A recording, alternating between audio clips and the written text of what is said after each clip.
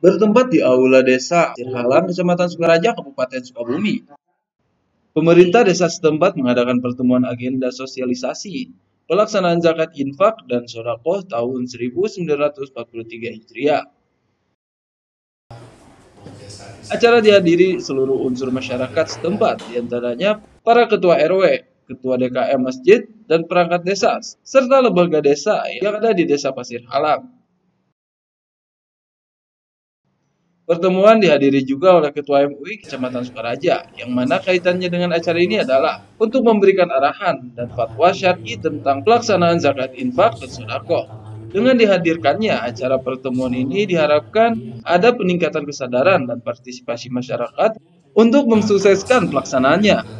Dalam sambutannya juga, Kepala Desa Pasir Halang berharap ada peningkatan dari sisi kualitas dan kuantitas dari pengumpulan zakat infak dan sodako di Desa Pasir Halang tahun ini.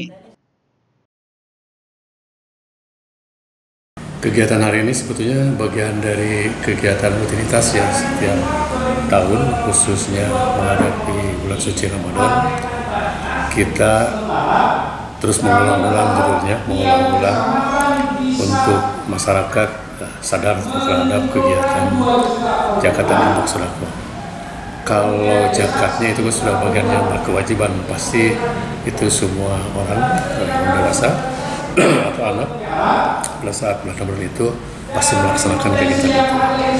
Yang kedua tentang infak sudah pun sebetulnya bagian yang terpisahkan dari kewajiban-kewajiban umat muslim untuk melakukan itu.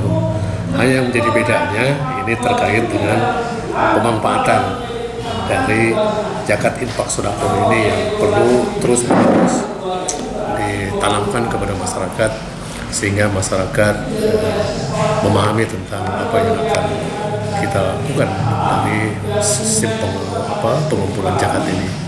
Karena pengumpulan, pengumpulan apa, meningkatkan pemahaman tentang pelaksana kegiatan lapangan.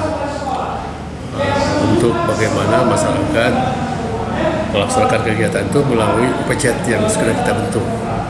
Ya, tadi ada UPZ tingkat masjid, ada UPZ desa dan UPZ kecamatan masuk ke kabupaten banyak gitu semacam itu.